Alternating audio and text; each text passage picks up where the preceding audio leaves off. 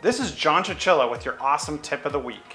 Today we're going to be talking about how to search different web pages. I'm going to launch Safari. I'm on a page here. If I scroll all the way to the top or bottom, I get the, the panel down at the bottom that allows me to go back and, and, and do a couple different things.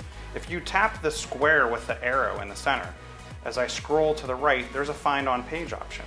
I can start typing in that search bar and I can actually find every iteration of a word.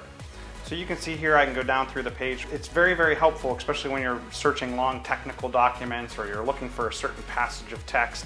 So this is John Chichilla with your awesome tip of the week. Make sure you check us out on awesomecast.net.